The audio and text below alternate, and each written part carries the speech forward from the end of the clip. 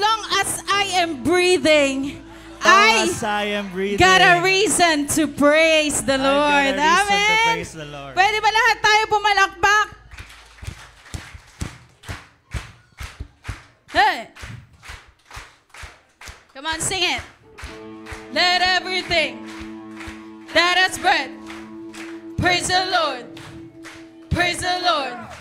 Let everything that has breath. Come on, sing it. Praise the Lord. Praise the Lord. Let everything hey, that breath. Praise the Lord. You Praise the Lord. Let everything that breath. Praise the Lord. Praise the Lord. I praise in the valley. Praise on the mountain. Hey. I praise when I'm sure. I praise when I'm doubting. I praise when I'm numbered. Praise when surrounded.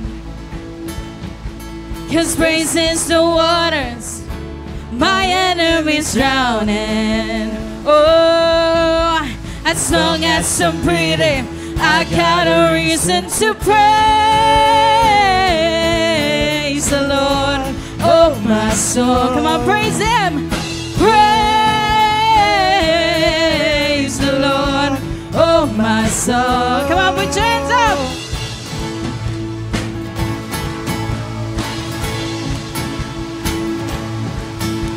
I praise when I feel it. I praise when I don't. I praise cause I know you're still in control. Yeah. My praise is a weapon. It's more than a sound.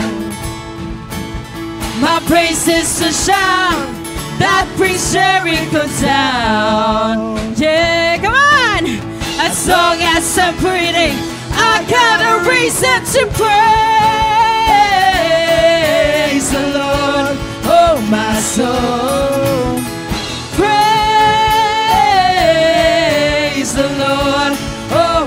Soul. Praise the Lord. Oh, my soul. I'm gonna do Praise the Lord, oh my soul. I won't be quiet.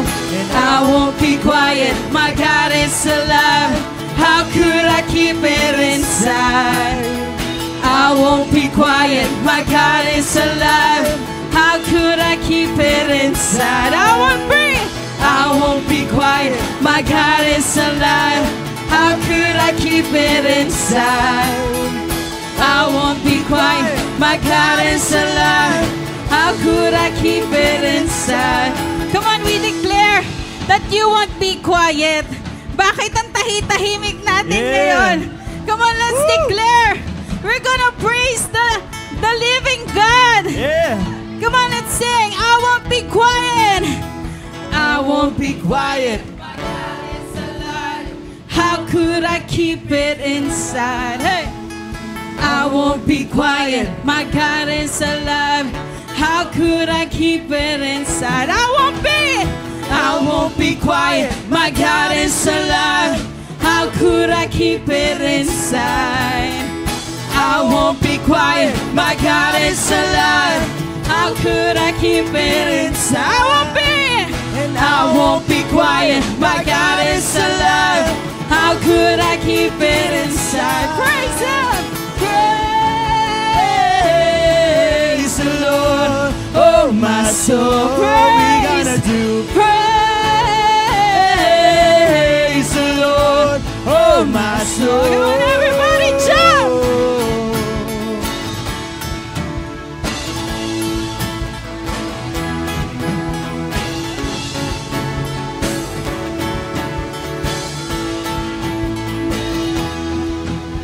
I praise cause you're sovereign, praise cause you reign, praise cause you rose and defeated the grave. I praise cause you're faithful, praise cause you're true, praise cause there's nobody greater than you. I praise cause you're sovereign, I praise cause you reign, praise cause you rose and defeated the grave.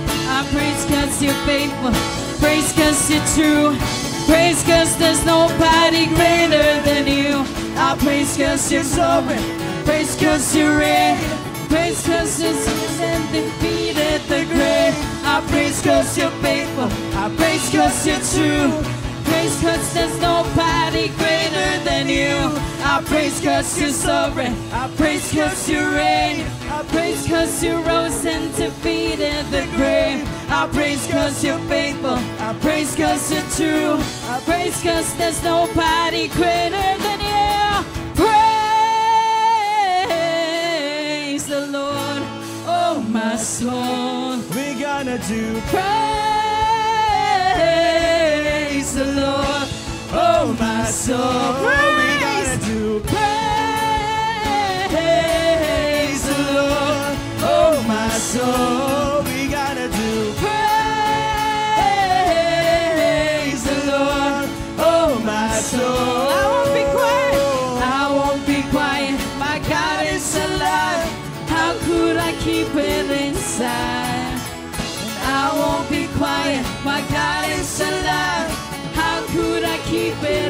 Inside? I won't be quiet. My God is alive. How could I keep it inside?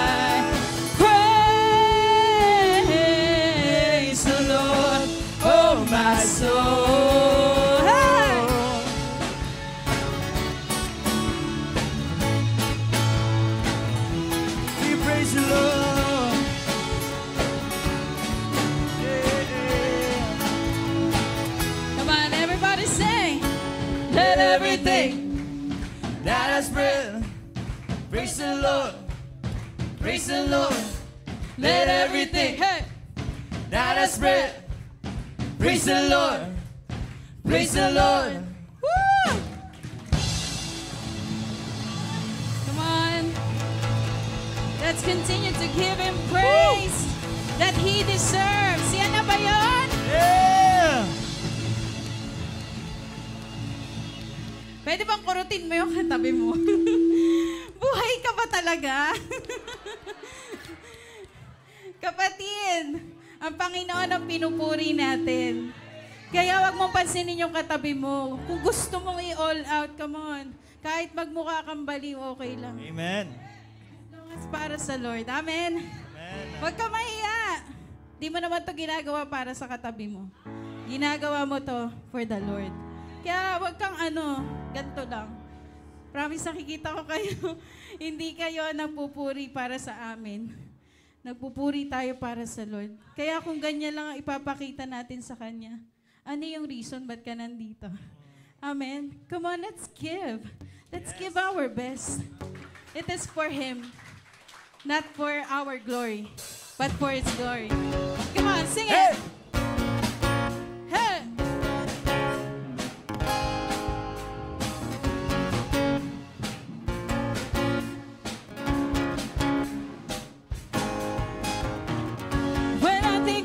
your goodness, my heart is overcome. How can I begin to thank you for everything you've done? For you keep on loving me. And it caused my heart to sing. Yeah. Oh, you, you make me come alive again. That's why we praise Oh, you. you, you make me come alive again. Yeah, let's go. Whoa, This is a moment. whoa, Everything changes. whoa. Cause you are my breakthrough. I praise you. I praise you.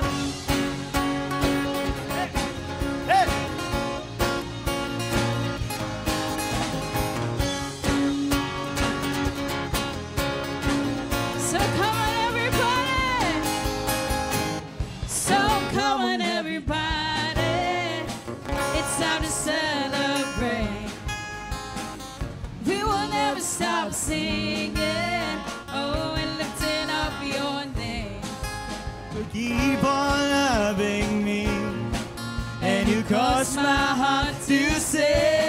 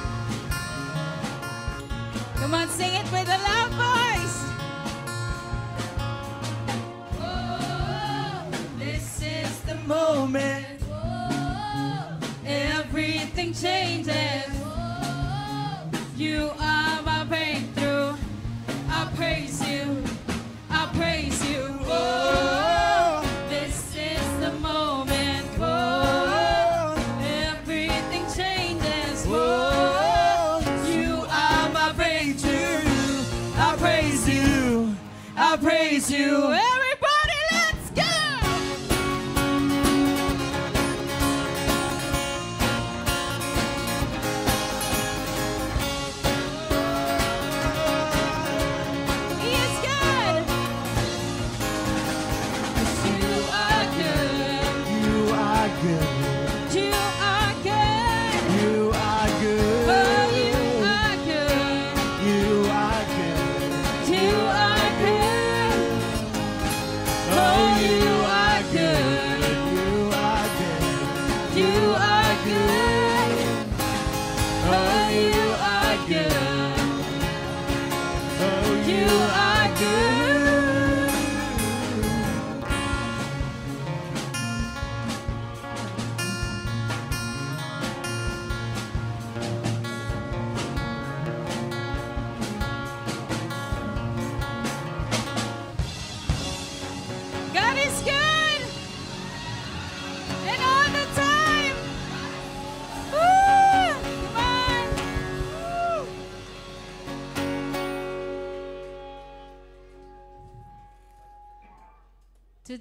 so blessed and grateful na we're here worshiping together the Lord.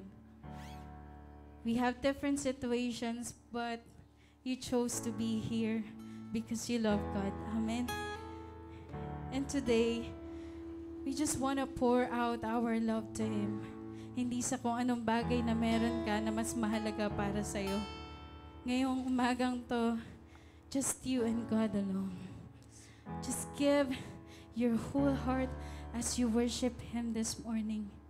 Lord, today, we just gonna say, I love you. Pwede ba sabihin natin, Lord, I love you. Lord, I love you. Lord, I love you.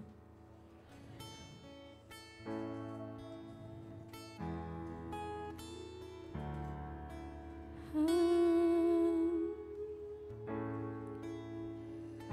I'm gonna sing for you forever, Lord.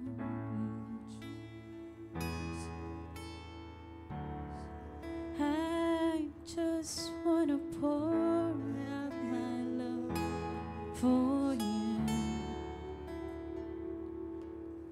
Mm. On, continue to worship Him today. Ooh.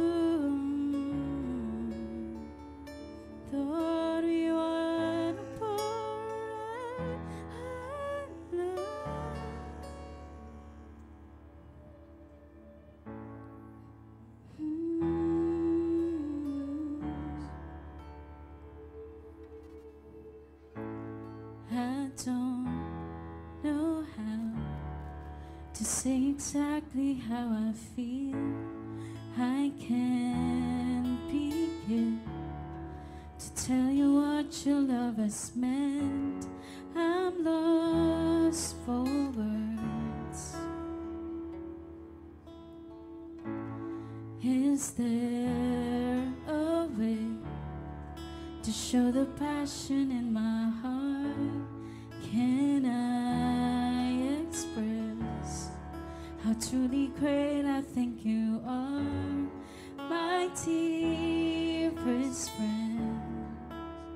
This is our desire.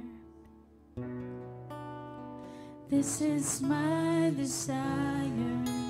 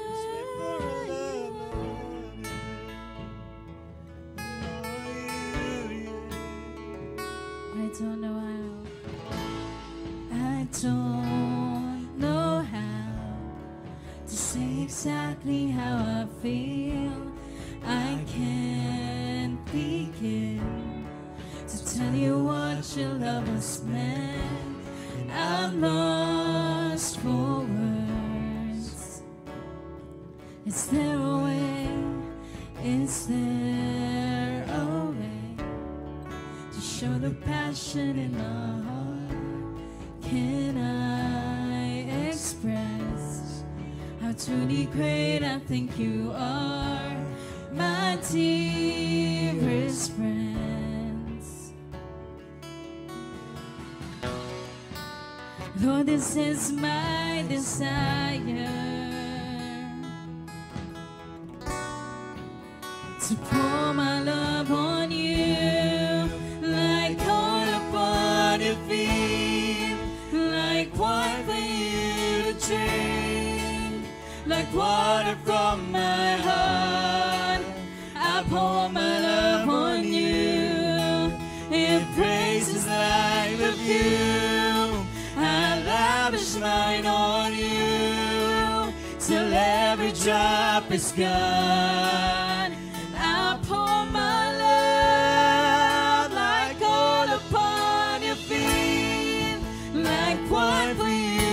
liberty, like water from my heart. I pour my love on you, in praises like the view.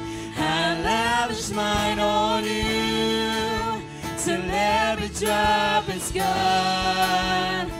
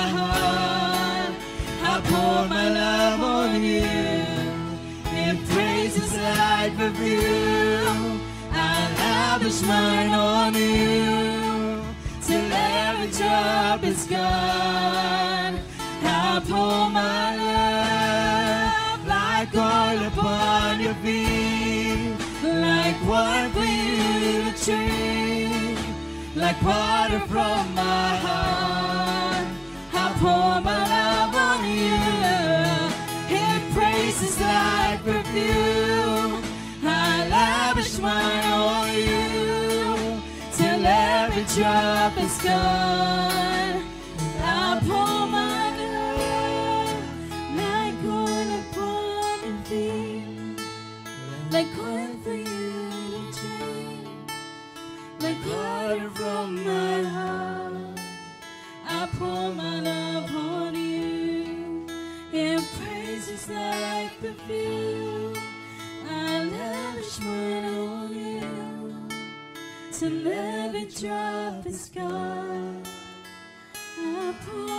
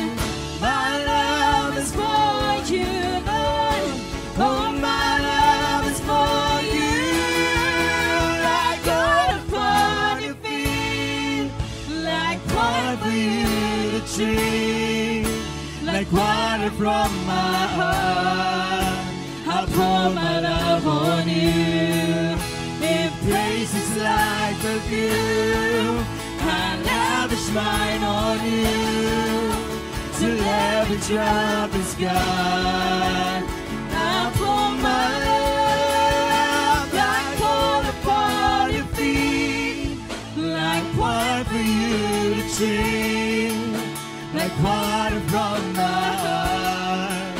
I pour my love on you. He braces like perfume. I lavish mine on you till every trouble is gone.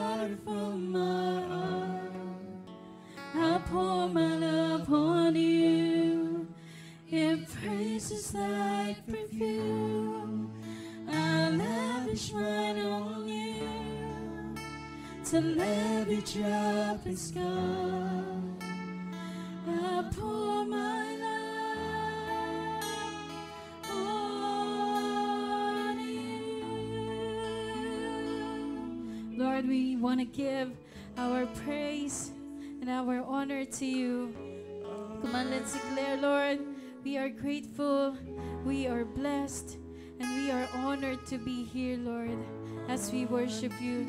We want to give our heart, we want to give our soul, because it's yours, Lord, and you are mine. Lord, we thank you, we praise you this morning. In Jesus' name we pray.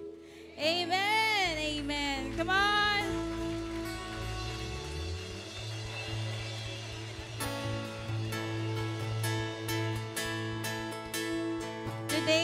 Napaka-special ng araw na to. Kasi meron tayong bagong maririnig. Ewan ko kung bago, pero lagi nyo na siya nakikita. But today, gusto ko ipakilala sa inyo ang isa sa pinakagwapong servant leader dito sa church. Walang iba kundi si Lucy Moore Pagano! Grabe, may pa-intro. Magandang umaga po sa inyong lahat. Good morning, good morning. Si La Pastor Lito po, tsaka sila Pastor Ates, kasama si Dayan, si Ate Lucita, si Rovel, uh, yung parents ko, sila mama, sila papa, is ah, nasa Masbate po sila ngayon. Alam niyo po ba yung Masbate mission na yan is five years in the making. So, ah, pinag-pray natin yon para makapunta sila. Kaya kung di sila nakakapag-update, yun po ay walang signal doon. Kailangan pa daw nilang bumaba ng bundok para daw magka-signal. Kaya, ipag-pray po natin sila. So, ngayon po, sino po excited na sa word ni Lord?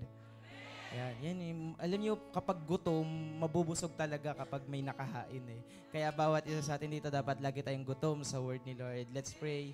Lord, we give you back all the glory, honor, praises. Lord, thank you for this morning. Thank you, Lord, for the life. Thank you, Lord, for the opportunity na nandito kami ngayon. Lord, ngayon, tanggalin mo anumang laman namin. Lord, gawin mo kaming empty ngayon, Panginoon, para malagyan mo kami ng bago. Lord, tanggalin mo anumang mga luma sa kaisipan namin, luma sa puso namin, sa buhay namin, Lord. Ah, gawin mo kaming magandang lagayan ngayon, Panginoon, ng, ng Lord. Punuan mo kami ngayon para, Lord, ma-recharge kami sa buong linggo na to, Panginoon, na darating. Salamat, Lord. I pray sa bawat isa sa amin. Tanggalin mo anumang inner resistance. Tanggalin mo, Lord, yung anumang fear, yung anumang worry sa life namin. Lord, mag-focus kami sa pakikinig ng salita mo. Lord, huwag kaming mag magtumingin sa kung anong after ng worship na to, kung anong, mga pupuntahan namin, kundi Lord, mag-focus kami sa bawat word na gusto mong sabihin sa amin, Panginoon. Salamat, Lord. Ito po aming dalangin sa pangalan ni Jesus. Amen, amen. Okay. Pwede na po tayong maupo. Yan. So, gusto ko pong batiin yung mga ah, mga tatay ngayon ng Happy Father's Day po sa inyo lahat. Pwede po bang tumayo lahat ng mga tatay? Sige po. Ayan. Pero pag papa, hindi pa po tatay. Paano daw yung papa? So, yan. yan. Ah, happy Father's Day po sa inyo. Alam po namin yung mga ah, yung mga sacrifices ninyo sa family nyo and ah, na, nabibless kami sa buhay nyo. Alam nyo, ah, napakasarap kapag ang father mo ay godly father at isa kayo doon. Kaya ako thankful din ako sa tatay ko. Thank you. So, pwede na po tayo mo po. Thank you po. Happy Father's Day po sa inyo. At ngayon din po, uh, wini-welcome natin yung mga ah, VIP natin ngayon, yung very important ah, pansinin. Yan, mga, mga, mga first timer dito. Pwede po bang pakitaas ang kamay ng mga first timer dito? So, ito po. Ah, sige, si Lailani Lucasa. Nandiyan po ba si Lailani? Hello po, welcome po. Welcome, welcome po sa family. Ang nag-invite po sa kanya si Sainet Santiago. Yan, wow. Mahal na mahal po kayo na nag-invite sa inyo, no? Ganon din po si Roberto Lucasan. Ayan, Ro- Robert. Mag-asawa po kayo? Wow, family. Congrats po. Napaka-bless ng baby nyo kasi lalaki siyang may takot sa Diyos kasi dahil yung parents niya. Sunod po is si Aneska Hailey Lucasan. Oh, anak. O pamilya pala to eh. O, wala, wala, meron tayong isang buong family ngayon. Congrats po sa nag-invite sa inyo, no? Si Pauline, tsaka si Diane Peren. So, ah, God bless po sa inyo. At yung blessing ni Lord paparating na sa inyo. Kasi napaka-bless ng mga taong nag-aakay ng kaluluwa sa Kanya. So, tandaan nyo lang lagi, ah, no, si, yung taong nag-invite sa inyo. So, napaka-bless niya kasi in-invite ka at nagpatuloy ka. Kaya nga, kung baga sa ano pa yan, anong tawag dito? Kung baga sa recruitment pa yan, nung nirecruit ka nung nag-invite sa inyo, matindi na yung commission yan kay Lord. Lalo na kung nagpatuloy yan. Kaya tinan mo yung katabi mo. Ayan. Matindi na ang blessing nung nag-invite yan kasi ang dami ng tinanim niyan eh. Kaya kumota na yan sa'yo. Sabi mo sa katabi mo, matindi na ang blessing mo. Okay. So ngayon, nandun, po, nandun, nandun pa rin po tayo sa series ng uh, We Are Called, no? Sino ditong alam mong tinawag ka ni Lord? So we are called. Nung nakaraan, ano nga pong title nung nakaraan natin yung kay Pastor Rito? We are called to be holy. Ayan. Sino dito minsan, pag sumasanggi sa isip mo, pag nagkakamali ka, pakiramdam mo, layo-layo mo na kay Lord. So, ang ganda nung, ano ni Pastor, ni dalawang, ano ng holy, ah, yung ontological holiness, yung God declares that you are holy. Ibig sabihin, ah, hindi karapat dapat, pero, pero pinaging dapat ka ni Lord. Kasi tayo minsan naglalagay ng label sa sarili natin eh. Nilalagay natin ng label na ganto na lang ako, dahil nagkasala ako, ganto na lang ako. Tayo naglalagay ng parameter sa life natin eh. Pero alam mo ba si Lord, ang parameter ni Lord is mas matindi sa parameter mo. Ibig sabihin, kung nasa isip mo, ganun ka, sa Lord, sa Lord hindi ka ganun. Kaya dapat kailangan talaga natin ng word ni Lord para meron tayong basis ng buhay natin. So ngayon po, ang ah, iniwan po na, na ah, pinagkatiwala po na i-share na word ni Lord natin, ni Pastor, is ah, we are called to be firm. Sabi mo sa katabi, we are called to be firm. Yan. Ano ba yung firm? Hello, hello, hello. Yan. Parang mas mahina. parang mas mahina. Ayun, yun. Okay. So, thank you po. Okay. So, we are called to be firm. Maging matatag. Tinan mo yung katabi mo. Yan. Hello. Yan. Baka malapit nang bumigay yung katabi mo, ah. Sabi mo sa katabi, huwag kang bibigay. Alam niyo po ba, hindi mo naman, hindi mo naman agad makikita sa labas yung tao bago mawala eh. Alam niyo yung mga nagbabackslide, yung mga umaalis sa Panginoon. The fact na umalis na yung physical body niyan, matagal nang nawala yan. Kasi yung unang mawawala sa'yo, isip mo. Yung pag nandito ka, nakaupo ka, pero yung isip mo, ano kayang kakainin mamaya? Ano kayang bibili namin mamaya? Ano kayang gagawin mamaya? Di ba ganon? So, ang unang nawawala sa tao bago siya umalis sa Panginoon is isip muna niya. Sunod, at puso niyan. Dala-dala na yan. Spirit mo na umaalis dyan bago na yung physical body. So, ah ngayon, ire-recover natin yung mga nag-iisip na ngayon. Kaya tinan mo yung kanina, yung nag-iisip na yan eh. Nagbabalak na ngayon niya, yung tipong tataningan na niya yung buhay niya. Hanggang, hanggang, hanggang ngayon, June na lang ako, magbabackslide na ako after. So dito minsan, tinataningan mo na yung ano mo, hanggang anniversary na lang ako, hanggang 15 years na lang ako. Ayoko nang umabot ng 16. Wag mong, wag mong pangunahan si Lord sa gagawin niya sa buhay mo. So, sabi mo sa kanya, huwag kang desisyon na. Huwag tayong magdesisyon. So ngayon, tatlo lang yung bagay na na pin, gustong gustong pinapasabi ni Lord. Una, bigyan tayo ng babala ni Lord. Babala asawa ni Hindi, joke lang. Ah, bibigyan tayo ng babala ni Lord sa mga taong nakikinig at hindi gumagawa ng word niya. Pangalawa, ire-remind yung bawat isa na yung bawat ginagawa natin sa Lord ay walang sayang. At pangatlo, para ma-encourage tayo na maging matatag habang sumusunod sa Kanya.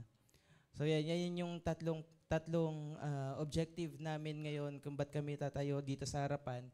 To warn us, to remind us, and to encourage us to, in serving the Lord. Kaya bawat isa sa atin, sabay-sabay natin basahin itong verse na to. Sino pong may dalang Bible? Yan, sige po, pakitaas nga po may dalang Bible. Yan, sige, pakitaas. Yan. So, ang Bible po natin, kapag nasa bahay, hindi po yan pang display at panakot at pang pangontra sa kung ano man. Ang Bible po ay magkakaroon lang ng power at ng bisa kapag binabasa at sinasapamuhay. Pero kung yan nakadisplay lang yan sa kung saang saang sulok para pangontra, wala pong effect yun. So, ang Bible po ay magkakaroon lang ng power kapag ina-apply natin yan sa buhay natin. So basahin po natin ang Matthew chapter 4, ay ah, Matthew chapter 7 verses 24, 25, 26 and 27. So ito pong ah, yung Matthew chapter 5 ah, chapter 5, 6 and 7, yan po yung sermon in the mount. s- ah, sermon in the in the mount yung sa nung nasa bundok si Jesus. So ito yung last passage niya para sa mount. Iniisip ko nga dati, no? Kasi dati wala pang speaker, wala pang mga sound system na yan. Tapos si Jesus nakakapag-preach sa 5,000 na tao. Grabe, no? Isipin niyo na lang. Ito pa nga lang, naka-mic ako. Pag wala akong mic, hindi na naririnig, di ba? Ano pa kaya yung kay Lord? So, na, na ano ko, ibig sabihin yung mga 5,000 na yun, mga tahimik yun para pakinggan talaga maigi si Lord. Walang nagdadaldalan, di ba? So, kaya, amazing, amazing dati. Na-imagine ko lang. So, wala pang ano nun, intensity or kung ano man yung mga sound system na yon. So, ah, talagang pag, pag ang word ni Lord, ah, para kasi ang buto eh. Once na tumanim yan, ay nalag, na tumanim yan sa mabuting lupa, doon siya lalago. So, yung mabuting lupa na yan, yan yung puso natin, na kapag ganda tayong makareceive, doon talaga lala- lalago at magkakaroon ng effectiveness yung life natin. So, ah, ito yung passage. Basahin natin, no? Okay. Everyone, sige, sabay-sabay tayo. One, two, three, go.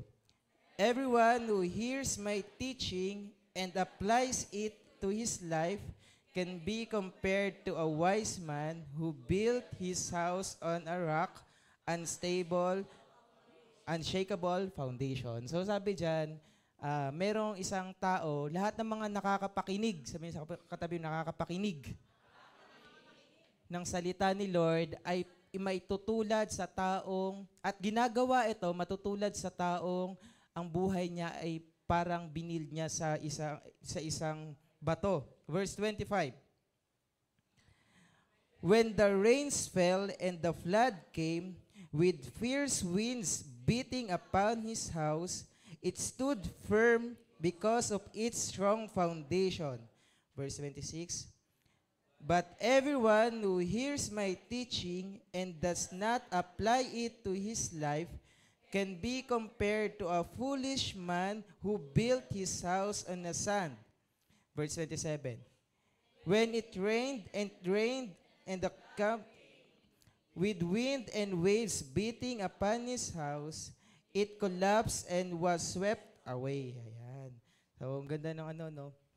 So, ilang verse yan? 24, 25, 26, 27. Four verses lang yan, pero um, ang ganda ng example ni Lord, mag, nagbigay siya ng dalawang tao. Ang dalawang example dyan. So, alam niyo ba sa buhay natin, problems, trials, yung temptations are inevitable. Oh, inevitable. Ano yung inevitable? Parang, parang kaya ano ko lang narinig yun. Anong tawag dito? Yung nagganon. Avengers yung nagganon. Pag sinabing inevitable, certain to happen, siguradong mangyayari. Hindi porket anak ka na ni Lord, wala nang problema. Hindi porket ah, nagsiserve ka na, everyday ka nang nagmo-morning prayer, nagsa-Sunday, nagsa-cell group, hindi, walang assurance na hindi ka dadaan ng problema. Walang assurance na hindi ka, hindi ka matetempt. Walang assurance na hindi ka matutu- matutukso. Walang assurance na hindi ka magkakamali. So, sabi ni Lord dito, may dalawang tao dito. Sabi niya, yung isa is ah, nag, naglagay ng pundasyon sa bato at yung isa naglagay ng pundasyon sa buhangin. Parang, parang lagyan natin ng pangalan siguro, no? Parang si, si Rocky tsaka si Sandy. si, si Sandy, iba yung Sandy na Sandy, anak ni Ate Jen, letter X yun eh, matatag yun eh. Yung Sandy na ma- mabuhangin. Yan. Di, di ba may mga tao na yung pag sinabing Sandy, yung yung talagang matatag bato. Ay, ah, Rocky yan yung bato tapos matatag. Tapos yung Sandy yan yung mabuhangin. So, dalawang tao dito, first is yung a good listener and a hearer. Alam niyo ba pinagkaiba ng good listener and a hearer? Pag sinabing listener, o pag sina- doon tayo sa hearing, pag sinabing hearer ka, or nakikinig ka lang, or hearing is simply the physical process of perceiving sound. So, na-acknowledge mo yung sound. Halimbawa, yung tweet, tweet, tweet, tweet, anong sound yon? Yan, bird, bird di ba? Yung aw, aw, aw, aw. Ah, so na, na, na, na-acknowledge nyo, nare-recognize nyo, napiperceive nyo kung anong sound yon. Pag sinabing hearing, naririnig mo lang.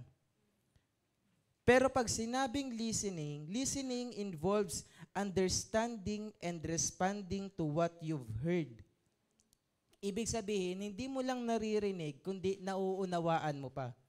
So marami mga tao, halimbawa, ah, sino ditong, lahat naman may nanay, di ba? Ang hearing, kapag pagkagising mo ng umaga, naririnig mo na agad, nagbubunga nga nanay mo. Kaya nasa isip mo, nagbubunga nga na naman si nanay. Ang tawag dyan, hearing. Naihi- naririnig mo eh. Pero pag sinabing listening, inuunawa mo, ba't ba nagbubunga yung nanay ko? Ay, pambira, hindi pala ako nakapagugas ng pinggan kagabi. Yan, naunawaan mo kung ba't siya nagbubunga nga. Nagigets nyo? Alam niyo, sabi ni Lord dito, kapag ang Kristiyano, everyone who hears my words, or everyone who hears these words of mine, can be compared to a wise man or a foolish. Ibig sabihin, tayo, alam niyo, pinakamaganda sa atin, napaka-accessible ng word ni Lord sa atin dito. Ngayon, the fact na nakaupo ka dyan, naririnig mo yung word ni Lord, may dalawang option. First is, ako ba ay magiging, magi- gagawin ko yung naririnig ko dito? Or yung mga usual na Sunday na, "Ay, okay lang to, hindi ko na, ano, narinig ko lang yun. Sumanggi sa tainga pero babalik, lalabas sa kabila. Hindi gagawin. Yung ba tipong pag sinabing, pag sinabing, ah, pag uwi mo ng bahay, ikis mo naman yung nanay mo, yung tatay mo. Eh, ikaw dahil Sunday ka lang, hindi ayoko, naiya ako. Tapos parang ilang ako eh. Ang tagal mo ng krisyano, never mo pang nasabihan yung I love you nanay mo, yung tatay mo. Alam nyo, nagkaroon ako ng commitment kasi nung 2015, 2015, nung, nung namatay yung lola ko, si, ah, si, eh, nanay, ah, mother ni mama, si Anarita, nung namatay, alam niyo nung namatay yon tulog lang siya. Umubo lang ng, umubo lang ng talagang isang biglaang ubo, tapos patay na. Tapos bigla ko na-realize nun, ang bilis ng buhay, no? Na yung ganun, ka, ganun, ganun lang ka, isang tulog mo lang, hindi mo alam na magigising ka pa. Sabi nga, sabi nga, isa lang sa Bible lang hindi pinangako ni Lord eh, yung buhay ka pa bukas. Kaya bawat bawat araw ipagpasalamat mo sa Lord yan. Simula nang namatay yung lola ko at na-realize ko na ganun kabilis ang buhay. Alam niyo, simula noon, sa tuwing matutulog yung parents ko, kinikis ko sila sa noo. Kasi para lang, para sabihin ko lang na, mapa, nandito ako, kasama niyo ako. Gusto ko silang ma- maparamdam sa kanila na nandun pa rin ako. So, bawat isa sa atin dito na ah, ano man yung naririnig nating words ni Jesus, kailangan natin i-apply yun. Kasi para sa atin yun eh. Para sa ikabubuti natin yun. And ah, being a good listener is a character. Sabihin sa katabi mo, character. And decision. Ang pagiging good listener, yung pag may narinig ka, i-apply mo at gagawin mo sa buhay mo, character yun eh. Character yun. So, ngayon, accessible yung word ni Lord. Alam niyo kung kung nandun tayo sa ibang bansa, sa mga Islam country, sa mga sa Saudi Arabia, alam niyo yung kung paano sila mag-worship doon nasa ilalim ng ano, sa ilalim ng ng mga underground. Bakit? Kasi bawal. Pero dito sa atin, napakalaya mong nabubuksan yung Bible mo. Doon may dala ka lang Bible, papatayin ka, makukulong ka, mapapersecute ka. Dito, napak kahit open yung Bible mo, kahit i-profess mo yung faith mo, malaya ka. Kaya, sabihin mo sa kanila, be thankful. So mag mag maging magpasalamat tayo na accessible yung word ni Lord sa atin dito. So ngayon yung dalawang tao na to na kinumpara ni Lord is uh, a wise builder and a foolish builder. Ano daw? Wise and foolish. Ano ba sa Tagalog yun? Sige nga. Yung wise ay matalino, yan. Bright. So, uh, matalino, bright. Pag foolish, Yeah, oh, bait ang mangmang. oh, so, wag na natin yung mic. Alam niyo naman yun. Di ba? So, pag, pag sinabing wise, matalino talaga yun. Pag matalino, matalinaw. Nakikita niya yun eh. So, pag sinabing matalino, uh, full of knowledge, bright, ibig sabihin yan light. Pag sinabi kasing light in the kingdom of God, pag sinabing light, it means knowledge. Light means knowledge. Light means Lucy. Light means bright. Kaya nga sa mga student, kapag yung mga yung mga bata, 'di ba pag sinabing napaka-bright naman ng student na 'yan, 'di ba? Pag sinabing bright, ibig sabihin matalino. So ibig sabihin, yung wise is bright, matalino. So pag sinabi namang foolish in the kingdom of God, pag sinabi is darkness. Ano daw? Darkness, ibig sabihin madilim, hindi mo nakikita, uh, walang walang kalinawan, kaliwanagan. So, ganun sa atin. Dalawa lang, kapag ikaw gumag, ginagawa mo yung word ni Lord, ay naririnig mo yung word ni Lord at ginagawa mo, nandun ka sa kingdom of light. Pero pag ikaw naririnig mo lang at hindi mo ginagawa, nandun ka sa kingdom of darkness. Hindi mo pa rin nakikita yung yung yung future mo. So, uh, ngayon bibigyan ko kayo ng tatlong ng ng tatlong points. Dalawang dalawang tatlong points. Paano ba 'yon? Dalawang main division, tapos may subdivision. First, SSS. Para maalala niyo lang, maalala niyo. SSS. Ano daw? Ayan, syempre yung mga mga nasa usong gulang diyan, yung mga pension nila naalala nila to. Itong SSS na to. Ano yung SSS? Social Security System. Pero dito, ha, merong SSS si Lord sa'yo. Sabi mo sa katabi mo, SSS. Sino dito handa nang kunin yung pension niya ngayong umaga? okay, simulan natin. If you are a wise builder, you're in the uh, if you're in the strong foundation, if you listen carefully, number one, you are saved. Sabi sa katabi mo, saved. Pag sinabing saved, yung buhay mo may assurance na.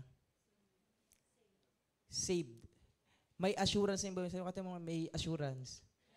Alam yung assurance? Pag sinabi assurance, may kas- kasiguraduhan. Alam mo, ang sarap, ang sarap kapag na kay Lord ka kasi yung yung panatag yung loob mo eh. Alam mo alam mo na ano eh na, na kung saan ka pupunta. Naalala ko sa cell group namin nagtanong ako no. Sabi ko dito, sin, nagpataas ako ng kamay. Sabi ko, sino dito yung pag namatay ka ngayon, alam mong mapupunta ka sa langit. Yung iba walang tumataas. Yung iba hesitant pa. Sige nga dito. Sino dito, pag namatay ka ngayon, alam mong sa langit ka? Parang, sige nga, pakitaas ng kamay. Pag, pag namatay ka ngayon, ha, yung ngayon, ha, kahit paglabas mo niya, pag nasagasaan o ano mangyari, pag namatay ka, sino ditong 100% sure sa langit ka? Parang sabi ko, hindi ko alam. Parang kakagawa ko lang ng kasalanan kay Nom. Gabawas lang ako ngayon. Mamaya sa ministry time. alam nyo, isa pa, sige. 100% sure pag namatay ka, sa Lord ka. Parang isitan talaga yung iba. Sabi ko, pag nag-rapture dito, lagot tayo. alam nyo, gusto kong sabihin sa inyo. O sige, Ah, isa pa, isa pa, isa pa. Kasi parang gusto ko, ano eh, bigyan ng chance. sabi, sabi, sabi niya, wait, wait lang, five minutes, mangingin lang muna akong tawad. wait lang. So, itong 100% sure, pag, pag namatay ka ngayon, kay Lord ka. Parang sabi, sabay na lang ako. Mamaya na lang ako. Gusto ko sabihin sa inyo, kaya ka nagsisimba, kaya ka nagpapakabait, kaya mo, kaya ka nagde-devotion, kaya ka nagbabasa ng Bible, hindi para mapunta ka sa langit. Maling kaisipan yun. Kaya mo ginagawa yan kasi tagalangit ka na. Ano yung salvation? Salvation is by grace. Ah, ah, salvation is by grace through faith at the point of baptism and the result is good works. Ibig sabihin, kaya ka nagpapakabait, hindi para mapunta ka sa langit, kundi tagalangit ka na. Ano man yung ginagawa mo dito para kay Lord, kay Lord ka na. Hindi dahil, ay, para mapunta. Dalawa kasi ang uri ng fear eh. Una, fear of, uh, fear of terror. Kaya ka sumusunod kay Lord kasi natatakot ka na baka mapunta ka sa impyerno. Mali, maling kaisipan yon. Dapat ang merong ma-develop na fear sa atin, yung fear of love. Kaya, kaya ayaw mong gumawa ng mali kasi baka masaktan mo si Lord. Ibig sabihin, bawat isa sa atin dito, kaya ka nagsiserve kay Lord, hindi para maligtas ka, kundi ligtas ka na. So, if you are listening and uh, listening to the word of God, you are saved. Sabi sabi mo, you are saved. Yung meron ng assurance yung buhay mo. And you know that you uh, you have a destiny. Sabi sa katabi meron ka ng destiny. Your priority determines your destiny. If Jesus is not your priority, surely Jesus is not your destiny. Tandaan niyo yan. Kung ano yung prioridad mo, yun yung patutunguhan mo. Yun yung, yun yung pupuntahan mo. Pero kapag hindi yun yung prioridad mo, kung ang prioridad mo, kaya, halimbawa, nasa isip mo, kaya ka magtatrabaho para kumita ka ng pera. Mali. Kaya ka nagtatrabaho para mag-glorify si Lord. Para yung mga, yung mga kasama mo sa trabaho, masyaran mo ng gospel. Kasi kung ang purpose lang ng, ng mga gagawin mo, para lang sa sarili mo, para lang sa, ah, sa pansarili, I tell you na, na hindi yan yung design sa atin ni Lord. Kaya niya tayo ah, binigyan ng mga bagay, resources sa mundong to para gamitin para sa glory niya. Pangalawa, hindi ka lang safe, you are safe. Pag sinabing safe, life under His protection. Alam niyo, sabi, di ba sabi doon, ang ganda nung, ang ganda nung, ano, ang ganda nung demonstration. Ang isang taong nag, naglalagay ng, nag, it, nilagay niya ang pundasyon niya sa isang bato, ay ano man yung dumaan sa kanyang pagsubok. Sabi nga doon, ano yung mga pagsubok na yan? Ang ganda ng, ano, no? Sabi dito, When rain falls and the flood came, isa ibang translation, meron pang river. Talagang matinding unos, matinding da, da- ah, matinding ah, bagyo ang daraan. Rain falls, rains fell, and flood came with fierce winds beating upon his house. Grabe, may intention talagang patumbahin yung, yung house na yon. Ibig sabihin, dumaan ka man doon, alam niyo, sabi doon, hindi ka, you are safe. Sabi sa katabi, you are safe. You are, your life is under God's protection. Your mind is at peace. Yung, yung, yung, yung isip mo panatag, yung, yung wala kang, yung wala kang, wala kang alalahanin sa buhay, yung hindi ka natatakot. Peace is not the absence of war, but the stillness of your spirit. Alam niyo, di ba sinasabi nila, ay kapag walang war, ano yan, payapa yan. Mali. Ang tunay na kapanatagan, or ang tunay na peace, is the uh, peace is not the absence of war but the stillness of your spirit. Sino ditong sa bahay niyo parang laging may war shock? Nalala ko lagi yung mga terminology kasi ng nanay ko. May war shock na naman dito. Yan. Alam niyo, um, pag sinabing peace, kapanatagan ng spirito mo. Yung ikaw mismo sa loob. Kasi kahit may war sa labas, pag panatag yung loob mo, yun yung at peace eh. Yung, yung kahit na wala kayong makain, wala kayong pera, wala kayong ah, yung ang daming problema sa labas na hindi mo alam kung paano susolusyonan. Kasi may mga sitwasyon talaga sa ayaw man natin sa sa ayaw man natin o hindi uncontrollable eh, 'di ba? Pero pag meron kang peace kay Lord, alam mo Lord, bahala ka na. Panatag na yung loob mo. Sa mga estudyante, yung kadalasan naman ng mga ng mga struggle niyan, papasa kaya ako? Ayan. Sino dito, ang alam mo, nasa isip mo, estudyante ka, papasa kaya ako? Naku, mag, magbabakasyon na, hindi ko alam kung gagraduate ako eh. Di ba? Ang daming, ang daming, ang daming ano, ang daming ah, mga worries sa life. So, pangatlo, ah, if you are a wise builder, your life is satisfied. Sabi mo sa katabi mo, satisfied. Pag sinabing satisfied, living in abundance and prosperity. You are your life is uh, secured, your life is uh, satisfied. Yung yung alam mo pag sinabing abundance, pag sinabing abundance is bagamat kakaunti, hindi nauubos. Kasi nasa isip natin, Lord, ano naman, ah, payamanin mo naman ako. Sino ditong naging, naging prayer mo yun? Lord, payamanin mo naman ako. Sino na, naging prayer mo yon? Alam niyo, bigla ko na-realize, yung nagpunta kami sa Tarlac, yung sabi ni Bishop Oriel, minsan tayo nagwo-worry tayo, di ba? Lord, ah, kailangan ko ng kailangan ko ng eh, pwede bang pa-flash ng ano? Ah, Matthew chapter 6 verse 32. 32 yan. Yan nyo. ah. Sabi dito 31. Ayan, ayan.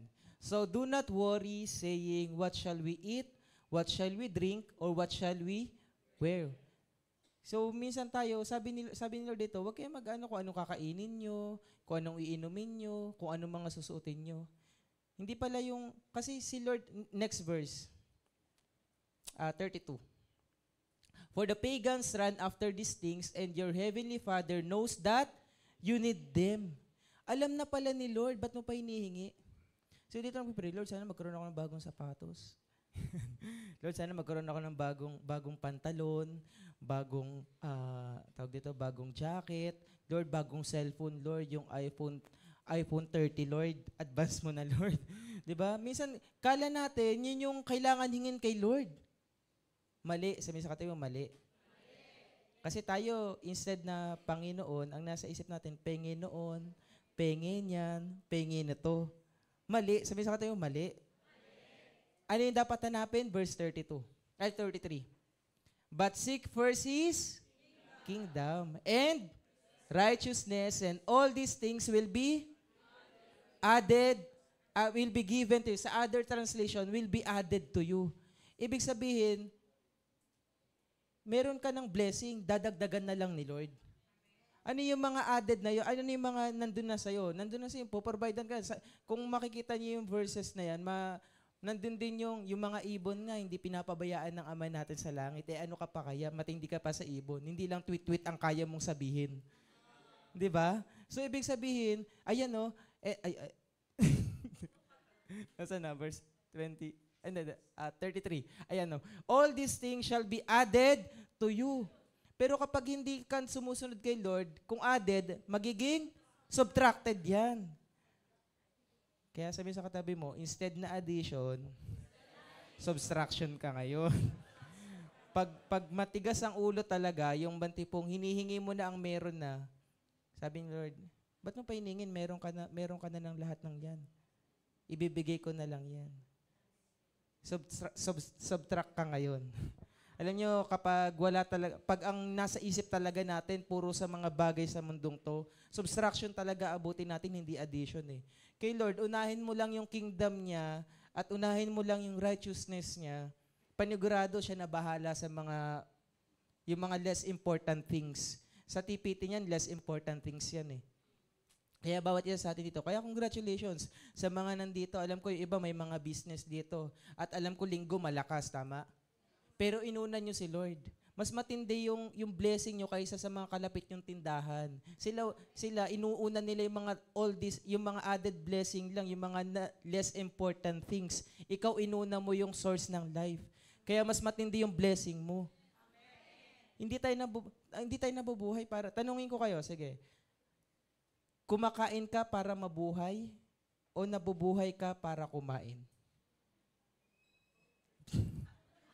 Sige, sige. Gusto ko ma, gusto ko maano. Sige. Kumakain ka para mabuhay, nabubuhay ka para kumain. O sige. O sino dito ano? Sino dito kumakain ka para mabuhay? Ayan. Sino dito yung nabubuhay ka para kumain? Sino dito wala akong pakialam? Sige, Sasabihin na, mga, ang hirap nung. Sige, sige. Ano? gusto nang kumain. Sino yung gusto nang kumain? Sige, sige. Ah, nabubuhay ka para kumain o kumakain ka para mabuhay?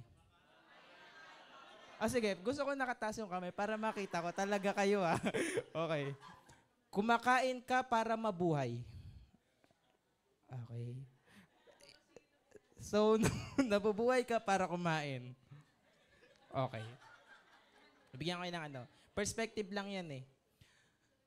Kung kumakain ka, ay kung nabubuhay ka para kumain, yun lang yung purpose mo. Para kumain. Eh, nabubuhay ako para kumain lang. Bakit? Pero kung ikaw, kumakain ka para mabuhay, survival yun.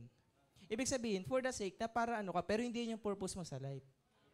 Kaya tinan mo yung katabi mo, mukhang namali tayo ng, ng landas. Kaya, kaya, kaya tayo, kaya tayo, kumakain tayo para mabuhay. Yun lang.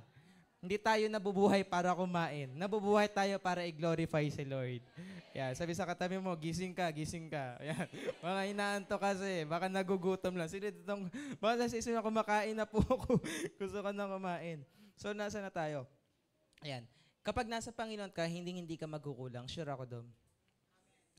Um, ayun, uh, sa, sa next Sunday is mag na tayo, 15 years. Actually, si 15 years na tayo, si Raining Light. At isa-celebrate natin yan dito sa Inaris Auditorium. Kaya invite nyo yung mga friends, relatives, nanay, tatay nyo uh, para sa 15 years na to. Matindi yung um, uh, ginawa, ni, sino yung, alam mo matindi ang ginawa ng Raining Light sa'yo? Sa, sa, uh, matindi ang ginawa ni Lord sa'yo sa pamamagitan ng Raining Light. Ako, ako naalala ko nung nasa post-encounter pa lang ako, uh, may ano din sa process. Uh, ngayon, parang life class na siya ngayon. Nung nasa life class pa lang ako. Uh, may pinadrawing kami doon. Uh, sabi niya, parang nabivisionize mo sa sarili mo parang five years from now. Eh, that was 2012 pa lang. No?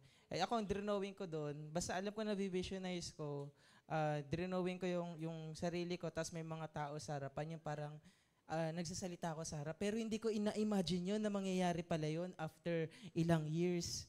Kaya bawat isa sa atin, um, talaga may gagawin si Lord, no?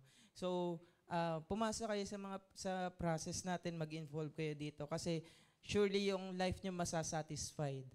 So, hindi porket busog ka physically, eh busog ka na spiritually.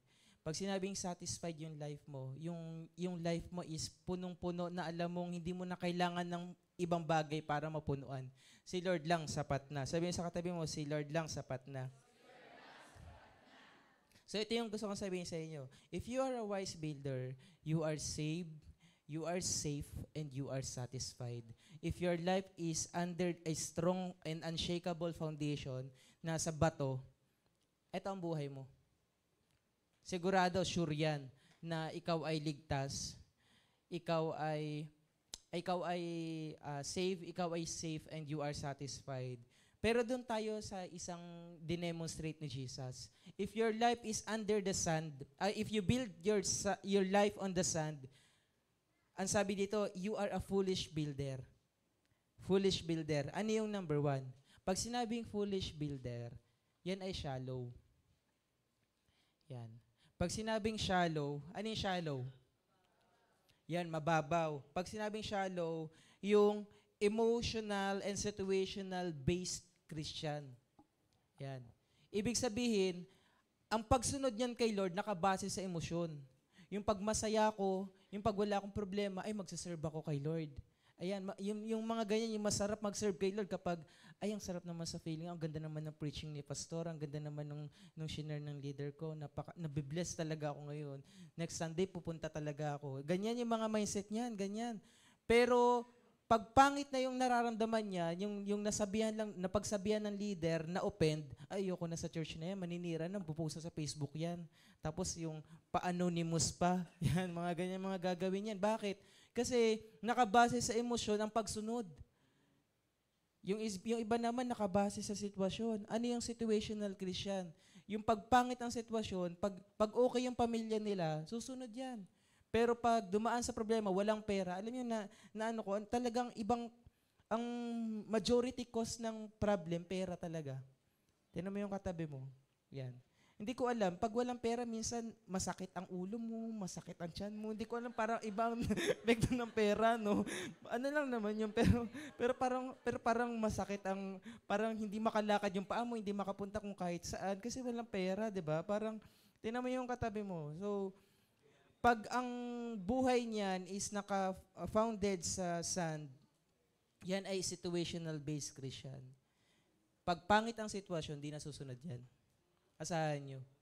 Kapag, kapag umulan lang, ay sabi ko sa'yo, daig pa yung asin, hindi makalabas ng bahay. Alam niyo, yung ulan ngayon mapandayan na. Kahit ang lakas ng ulan dito sa pag-asa, tuyong-tuyo na dito sa may tayuman, magugulat ka talaga. Ba't?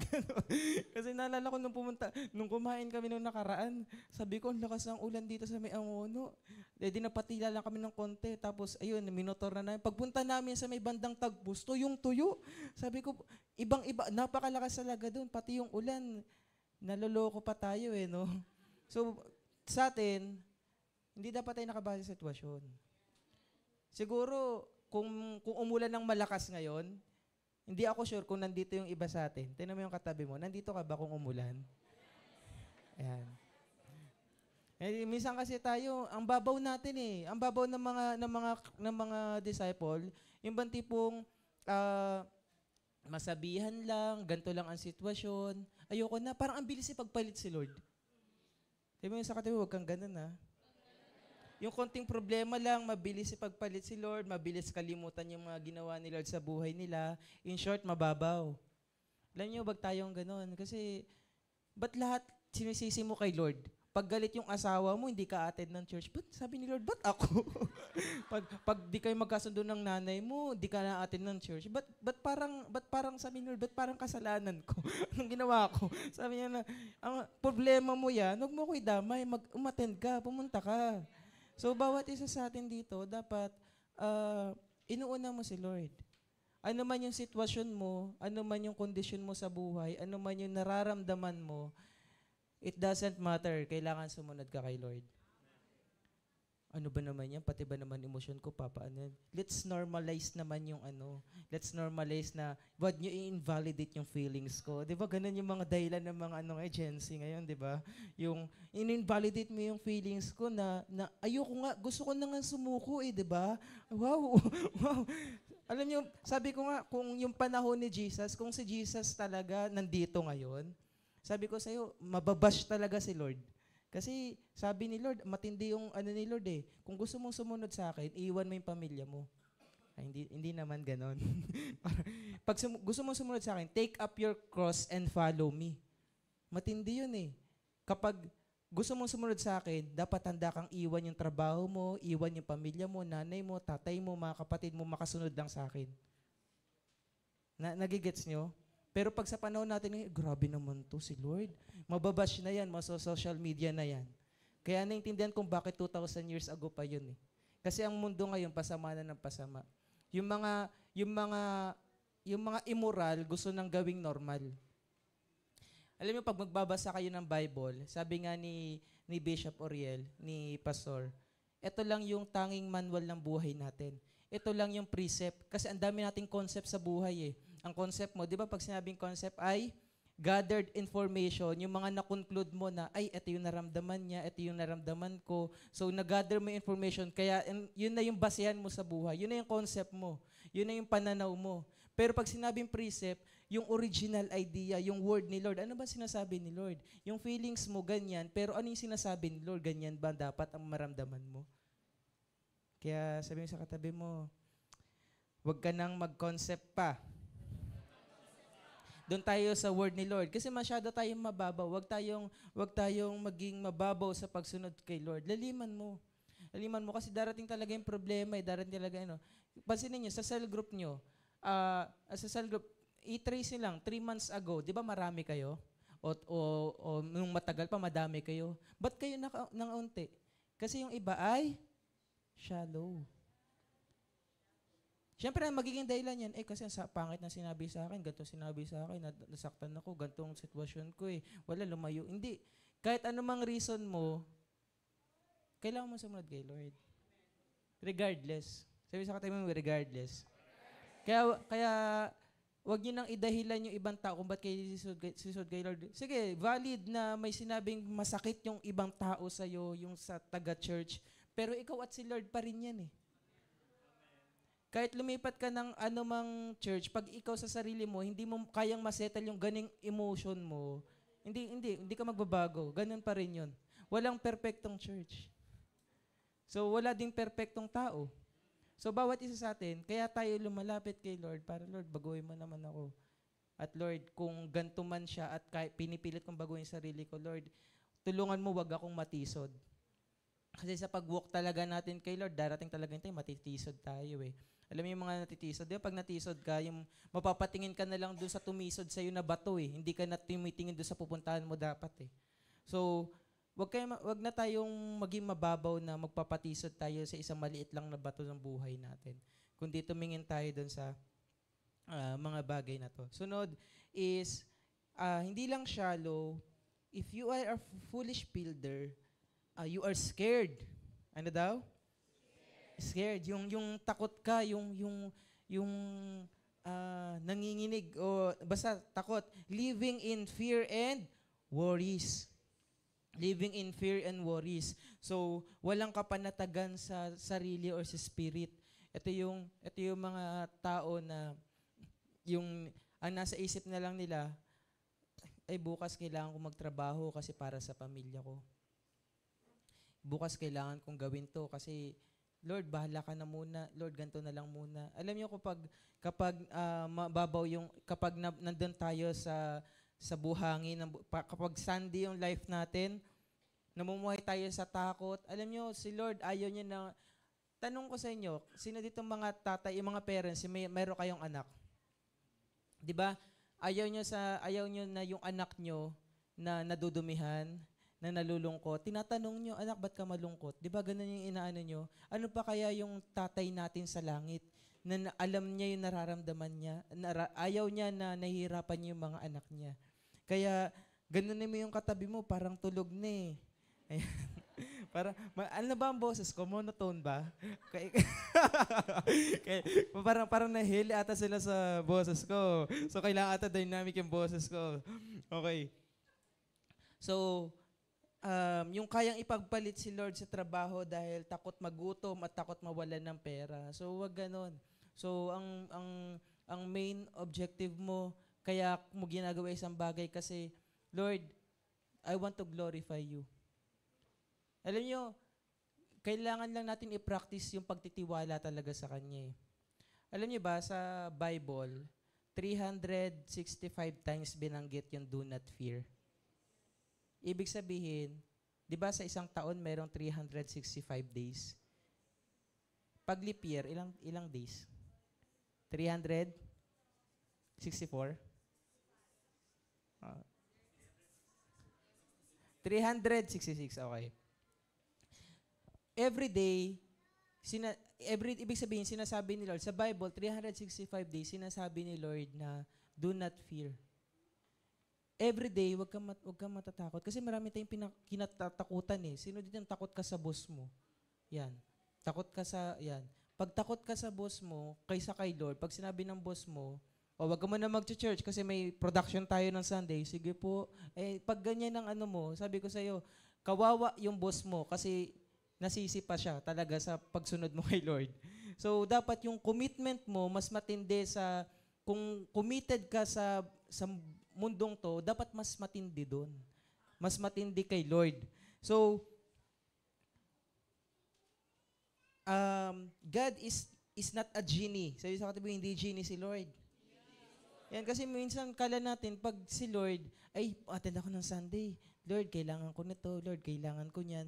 Para bang genie si Lord na pag may kailangan ka, kailangan isang kaskas mo lang. Parang isang kaskas mo lang, kailangan ko na to, Lord. Ngayon agad, Lord, pwede bang bukas na, Lord? Kala, ginagawa natin genie si Lord. Alam nyo, ang di ko makakalimutan sabi, sabi ni Pastor sa amin, si Lord hindi nasusuhulan. Ibig sabihin, hindi mo pwedeng suhulan ng isang bagay ng, halimbawa, nagbigay ka na ng ganto, Lord, gusto ko ganto ha. Hindi eh. Si Lord, ang tinitingnan ni Lord, hindi yung action mo, kundi yung puso mo. Kaya kahit, kaya kahit nagbigay ka ng malaki, alam mo, may offering, bigay ka ng malaki, pero yung kung yung puso mo, eh, parang ah, hindi, labag sa loob mo, napilitan ka lang, walang blessing doon. Kaya, kaya kahit, sabi mo, sabi, kaya kahit sumasali ka sa ministry, pero pag napilitan ka lang, yung puso mo wala doon, walang blessing doon. Kasi ang puso natin, yun yung, yun yung touching point ni Lord eh. Kumbaga parang yun yung indication na, ay, eto, ano to, genuine to. So, it's not about our action, but yung puso mo. Kaya nga yung worship, attitude of the heart yan eh. So, hindi lang siya pagkanta, hindi lang siya pagsayaw. Bawat ginagawa mo, basta ginagawa mo para kay Lord, worship mo yun. So, God is your only source. Si Lord lang yung source natin. Sabi sa katabi, si Lord lang yung source. Alam nyo, ang tao, mas sinahabol yung resources ng life eh, kaysa yung source ng buhay nila. Alam mo yung resources? Ano yung mga resources? Pagkain, damit, tirahan, pera. Ayan, yung mga resources yan eh. Pero nakakalimutan nila yung source. Naka, na, na, na, na, na, lalasing sila sa blessing kaysa sa blesser. Mas naghahabol sa blesser kaysa sa blessing. So, tingnan niyo itong verse na to. Philippians chapter 4, verse 19. Sabi niyo, 1, 2, 3. Basahin natin ha. And my God shall supply all your need according to His riches in glory by Christ Jesus. Ganda ng term, no? Sabi dito, and my God. Hindi yung and my mother, and my sister, and my daughter, and my father shall supply. Hindi. Ang linaw ng verse. Sinabi kung sino yung source dito. Ang source dito, and my God shall supply all your needs. According to His riches in glory by Christ Jesus. Si Lord lang. Kaya tayo, huwag tayo maghahabol sa resources ng mundong to. Pero hindi ko sinabi na mag-resign kayo sa trabaho, umalis kayo sa trabaho, ni wala akong sinasabing ganun. Ang sinasabi ko, ang purpose mo, ano man yung ginagawa mo, nag-aaral ka, nagtatrabaho ka, make sure ginagawa mo yan para sa Panginoon. Hindi yan yung buhay mo. Ano lang yan? For, para lang yan ma, ano, ah, ang tawag dito, para ah, ma, magkaroon ka lang. Pero hindi yan yung main purpose mo sa life. Hindi aksidenteng nandiyan ka sa school na yan. Kaya ka nandiyan sa school na yan para ipakilala mo si Jesus na nasa buhay mo. Hindi aksidenteng nandiyan ka sa trabahong yan. Hello? Yan. So, last is uh, surviving. Yan. Alam kapag nandun ka talaga sa mundo, talagang ano lang eh, talagang surviving yung life mo. Ano yung surviving? Yung, yung life in the jungle. Life in the jungle. So, yung parang yun yung buhay na kesera-sera. Alam niyo yung kesera-sera? Yung mga nasa usong gulang, alam niyo yun eh. Ano yung kesera-sera? Alam niyo yung kantang yon? Whatever will be, will be. Ayan, yun yung kesera-sera. Ayan. Kaya ang buhay, nagkasera-sera. Alam, kapag ang buhay natin, Lord, na kung ano na lang mangyari, ganito na. Buhay na sarili yung nasusunod, sariling diskarte, sariling pamamaraan, buhay na hindi nagtitiwala ng buo sa Diyos. Yan yung mga surviving life. Yun, yun yung mga ano, yung ito na lang gagawin ko, bahala na. Itong diskarte ko. Alam mo, kapag walang word ni Lord, sabi ko sa inyo, parang nasa harap mo na yung panganib, hindi mo pa alam. Yeah. Mer- na- na- na-download ba yung video? Ayan, yung 10 seconds video lang. Ito, may papanood ako sa inyo. May papanood ako sa inyo. Sige.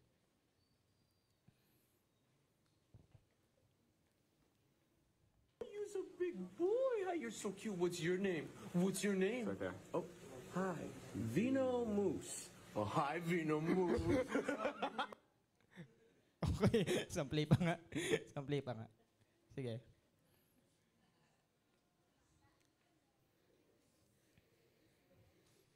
you're a big boy. Hi, you're so cute. What's your name? What's your name? Right there. Oh, hi. Vino Moose. Oh, hi, Vino Moose. Ayan. Minsan tayo nasa harap na natin yung panganib. Hi, Venomous! Minsan, minsan nasa harap na natin yung panganib. Ang linaw-linaw na sabi ni Lord, anak, wag dyan. Sa akin ka magtiwala. Minsan tayo, Lord, eto na yung blessing. Lord, sure na to. Eh anak, ba't mo tinanggap yung trabaho yan? May Sunday. Hindi Lord, eto na yun. Di ba pinag-pray ko to Lord? Anak, may Sunday yan. Hindi yan yung para sa'yo. Hindi porket mukhang blessing sa paningin mo, baka gamit, ginagamit yan ni Satan para ma-block yung, yung tunay na blessing na nakanda para sa'yo. Alam niyo, may, yun yung mga tinatawag na ano eh, na mga, anong tawag dito? Ah, naw- nawala ako? Sige, okay lang. Y- yung, yun yung mga tinatawag na ah, problems in disguise eh. Yan. Yung mga future problems in disguise. Failure in disguise. Ayan. Yan yung mukhang blessing sa paningin mo, pero magugulat ka, kinagat mo yung pain. Ay, Sabi ko sa'yo, naalala ko nung may nagpa-pray kay pastor, Pastor, talagang active siya. Pag Sunday, talagang pag, pag morning prayer, nandun siya. Sabi niya, yun pala, meron siyang pinagpipray. Sabi niya, "Ah, Pastor, kaya po kami nandito, ay kaya po ako nandito kasi meron talaga akong, nagpipray ako, magkaroon ako ng trabaho. Grabe, nung napaka-committed, nung nagkaroon ng, nung, nung wala pang trabaho kasi nanghingi kay Lord. Sabi ni Pastor, o sige anak, pag-pray natin yan, magkaroon ka ng trabaho. Tapos nung pinag-pray ni Pastor, after a week lang, nagkaroon ng trabaho, ang ganda ng posisyon. Tapos nung, nung nagkaroon ng trabaho, lumalabnaw na. Minsan wala na ng Sunday, paiglap, pa, pa minsan-minsan na lang umaaten. Tinanong ni Pastor, o anak, ba't minsan na lang kita nakita sa ano sa church? Tapos hindi ka na daw nakapag-cell group. Sabi ng ah, life group leader mo, Pastor, kasi may ano eh, may work ako eh. Sabi ni Pastor, tara ka dito anak. Pag-pray natin, mawala na yung trabaho mo. Kasi minsan tayo napakababaw natin, venomous. minsan nasa isip na lang natin, ah, ang bilis nating i-ano si Lord, no, na ginawa nating parang genie si Lord eh. Lord, okay na to. Ma- ah, na, nahingi ko na to. Okay na, balik na ulit ako dito. Mali, maling kaisipan. Si Lord, hindi siya yung hindi siya yung ah, lapitan ng problema. Si Lord ang solusyon talaga ng buhay mo. Ano man yung problema mo, si Lord ang solusyon yan. So ngayon, uh, I want to encourage everyone na you need to, we need to surrender our whole life to God. Alam mo kapag surrendered, yung buhay mo, yung talagang ah, buong puso, sabi ko sa iyo, yung buhay mo, at wala kang worry, wala kang alalahanin. Alam ko, bawat isa sa atin dito may mga priority sa buhay, pero magkaroon tayo ng isang priority lang, si Lord lang. Matthew chapter 6 verse 33 lang. His word is the manual of our life. Kaya nga sabi ni Lord, everyone who hears these words of mine, His words of mine, ito yon yung Bible. Ito yung words ni Lord na to, yung word ni Lord na to, yun yung Bible. Alam nyo, ito yung manual ng buhay natin eh.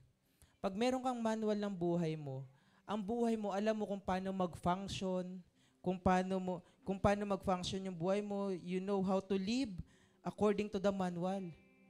Kasi 'di ba, pag bumili ka ng cellphone, may manual. Pag bumili ka ng sasakyan, may manual. Pag bumili ka ng washing machine, may manual. Yung automatic washing machine, yung aircon, pag bumili ka, may manual. Hindi mo alam kung paano paganahin. Kaya binabasa mo yung manual, 'di ba? Ay ganito pala 'to, para kailangan pala ganito. Ganun din sa buhay natin. Kailangan mo ng manual. Ito yung manual ng buhay mo. Paano ba, Lord, ano ba yung kailangan kong gawin? Lord, ngayon, wala akong trabaho, pero Lord, ano yung, ano yung sinasabi ng manual ng buhay ko? Ganito ba dapat ang function ko? His word is the blueprint for living. Pag sinabing blueprint, sa mga sa mga sa mga engineer, alam nila 'yan. Pag sinabing blueprint, yan yung plano ng buhay. Yan yung yan yung from start from the foundation up to the finishing, alam nila kung paano kung paano kung ano yung structure niyan. Ganun din yan sa buhay natin. Jeremiah 29:11. For I know the plans I have for you. Alam na ni Lord yan. Tapos na. Sabi mo sa katabi mo, tapos na. Ibig sabihin, bago pa magkatagpo si mama at papa mo, ang nasa isip na ni Lord, ikaw. Nakaplano na yung buhay mo, naka-timeline na yan eh. From beginning, oh, gantong May 30, 1997, dito manganganak yung, um, dito ipapanganak yung anak ko na to. Tapos gantong pagdadaanan niya to, pero sure, ito nakaplano to, blueprint yan. Kaya nga ang buhay, ang buhay hindi yan puro saya, hindi yan puro problema. Ang buhay para yung ano, di ba pag nasa hospital ka sa ICU, yung life support, di ba yung ganun yun, di ba yung ganun? Nagsasay sign ng merong buhay. Kasi kung ganun lang yan, patay na yon. Ibig sabihin, talaga yung buhay natin, may ups and downs talaga yan eh.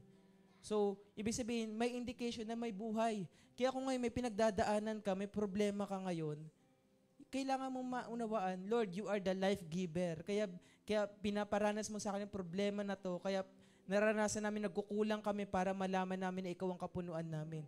Kaya ako nagkakasakit para malaman ko na ikaw ang kagalingan ko. Kaya ako nang, nang, nang kaya ako naghihirap para malaman ko na ikaw ang kasarapan ko.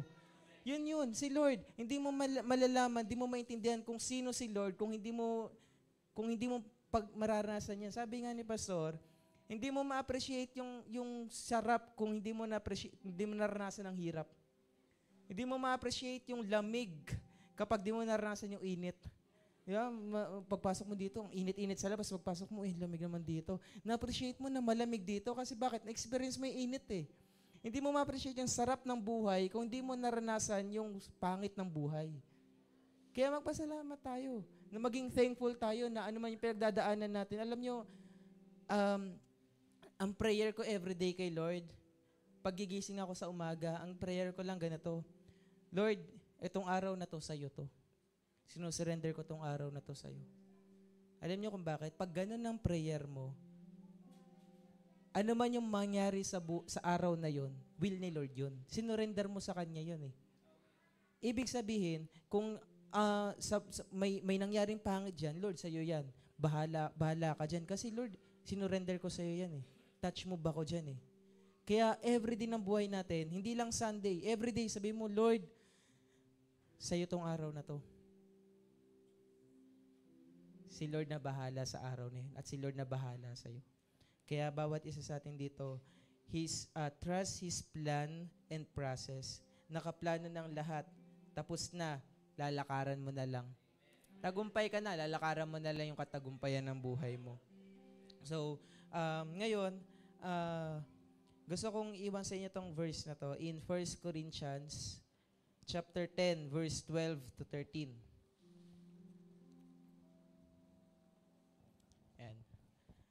Sabi dito, amplified. Therefore, let the one who thinks he stands firm, kung nasa isip mo na ikaw ay nakatayo, ano ibig sabihin ng stands firm? You are immune to temptation, being overconfident and self-righteous. Sa mga nag-iisip na ang tatag-tatag ko na, ganito na ako, ano na ako, immune na ako sa temptation, talagang matatag na ako, take care that he does not fall into sin and condemnation. Sa mga nag-iisip na matatag ka na, bantayan mo sarili mo. Kasi sabi dito, ayan no, immune, kung nasa isip mo, immune ka na sa temptation, overconfident. Minsan nakakatakot maging overconfident, no? Lalo na sa mga disciples. Sino mga servant leader dito?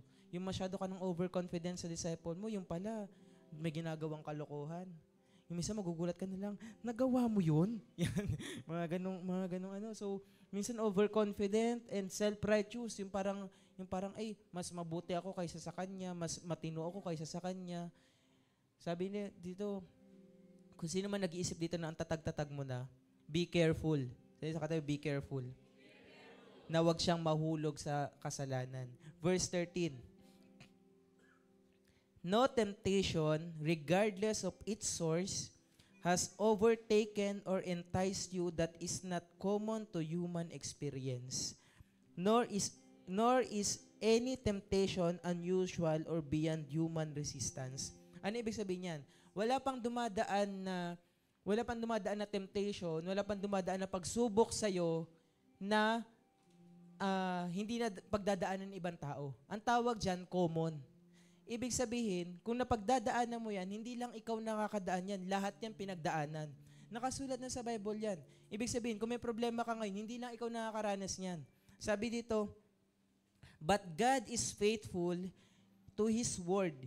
He is compassionate and trustworthy, and He will not let you be tempted beyond your ability to resist, but along with the temptation, He has in the past and is now and is now and will always provide the way out as well. Grabe, napaka spoon feeding na nito ha. Ano ibig sabihin niyan? Sabi ni Lord, wala pang dumadaan sa inyong pagsubok na hindi nararanasan ng ibang tao.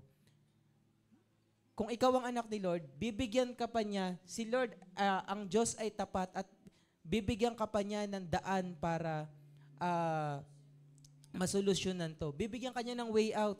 Grabe, parang ganito. O anak, ito yung test paper, ito na rin yung sagot. Parang ganon. Anak, may problema ka, ito yung sagot. Ano yung sabi ng word? Kasi minsan tayo, pag may problema tayo, halimbawa, sumakit lang ulo natin, isi-search mo sa Google, pag sumakit ang ulo, sintomas ng cancer, ganun agad nasa isip natin. Kung ano, iinom agad ng gamot, maling kaisipan eh. Hindi agad nagko-consult. Halimbawa, may, may nararamdaman ka lang ngayon, may nararamdaman ka ngayon, ang nasa isip mo, magpapa-check up ka, di ba? hindi kaya iinom ka ng gamot. Mali. Ang gagawin kasi ng normal na tao, pag nakaramdam ng sakit, iinom ng gamot. Pag hindi nadaan sa gamot, magpapacheck up. Pag, hin- pag nung napacheck up, sabi ng doktor, o meron kang bukol sa ulo. Tsaka magpe-pray. Mali. Ang anak ni Lord, kapag may nararamdaman na, magpe-pray muna yan. Because seek first the kingdom of God and His righteousness. Hindi yung kapag malaking bagay na, tsaka mo ilalapit sa Lord. Kundi kahit maliit na bagay pa, ilapit mo na, ipag-pray mo na kay Lord. Sabi dyan, bibigyan ka pa niya ng way out. Uh, provide the way out as well so that you will be able to endure it without yielding and will overcome temptation with joy. Dalawang bagay lang kung ba't nawawala ang Krisyano. Una, ah nag-give up yan. Kasi sa sobrang hirap ng buhay, sa sobrang ah, sakit ng nararamdaman, nag-give up yan. Pangalawa, kaya naman niya lumalayo kay Lord, nag-give in yan eh. Sa temptation, sa sarap, yan. May mga bagay na immoral na hindi nila maiwan, kaya nag-give in na lang. Kaya bawat isa sa atin dito, regardless kung nag-give up, gusto mo na mag-give up, mag-give in, sabi ni Lord, anak, I will provide a way out. Ito ang solusyon. Ito ang solusyon. So, ang ganda nung ano ni Lord ng word ni ni Lord ngayon. Kaya bawat isa sa atin, be be be um, naging mapagbantay tayo kasi baka para tayong bahay na matatag pero may anay na sa loob. Yung bang para kala natin ang tatag-tatag na natin. Di ba yung anay, hindi mo naman makikita sa labas na ayos na may something dyan eh. Makikita mo, ayan o, ang ganda-ganda ng bahay na yan o. So, pero pag makikita mo sa loob, ayan o, inaanay na pala yung bahay na yan. Yung, yung babagsak na pala, konting storm na lang. So, bawat isa sa atin dito, maging mapagbantay tayo. Sa pamamagitan ng ano, ito, itong mga narinig natin na to, may narinig ka ngayon, pag may pinapasurrender sa iyo si Lord, isurrender mo na yan. Lahat ng mga bagay na narinig mo, put it into practice. Kasi doon tayo magiging wise. Doon tayo makaka-experience ng salvation. You are saved, you are safe, and you are satisfied. Bakit? Naririnig mo, nagiging good listener kayo, napakinggan mo, gagawin mo. Kaya paglabas ito sa, sa, ano, sa Sunday na to, paglabas ng church na to, yung, yung word na to, yung word ni Lord na to, Lord, gusto mag, dapat pala magtiwala ako ng buo sa'yo. Magtiwala ako ng buo sa'yo. Proverbs chapter 3, verse 5 and 6. Trust in the Lord with all your heart and lean not on your own understanding. In all your ways, acknowledge Him and He will make your path straight. Grabe. Yan yung verse na, na talagang nag strike sa atin. Tiwala ka lang sa Lord. Kaya kung may mga bagay man, may mga pagkakataon man sa, sa atin dito na na hindi ka nagtitiw hindi minsan ka lang magtiwala at hindi buo ang tiwala mo kay Lord. It's time na Lord, simula ngayon, surrender na talaga ako. Surrender. Sabi sa katimu, surrender na talaga tayo. Let's build our life in the rock. Jesus is the, uh, the rock of our salvation. He is our solid foundation. Si Lord lang. Pwede ba tumayo tayo ngayon?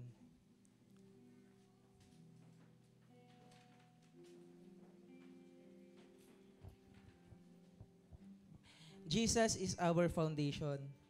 Let your life be founded in Him. Pwede bang itaas mo yung dalawa mong kamay ngayon? As a a symbol of surrender na may mga pagkakataon sa buhay natin na bilis nating ipagpalit si Lord, nakabase tayo sa emotion, humingi tayo ng tawad sa Kanya. Lord, patawarin mo kami, Lord, kung nakabase kami sa emotion namin, ang pagsunod namin sa iyo, nakabase sa kung ano yung magandang sitwasyon namin. Pero Lord, I pray ngayon na maging founded na kami ng salita mo. Lord, every day, hindi namin papabayaan. Magko-consult kami sa word mo, Lord. Lord, we, we want you to be in our life, Panginoon. Lord, tanggalin mo kung minsan, kung nakatayo man kami ngayon sa buhangin. Lord, kung yung buhay namin nasa buhanginan, Lord, I pray, Lord, nalilipat na kami, Lord, dito sa batuhan. Lord, kung saan nandun yung presence mo, kung nasa nandun yung protection mo, kung nasan, Lord, yung peace, kung nasan, Lord, yung salvation. Lord, doon kami sa, ikaw magiging foundation namin.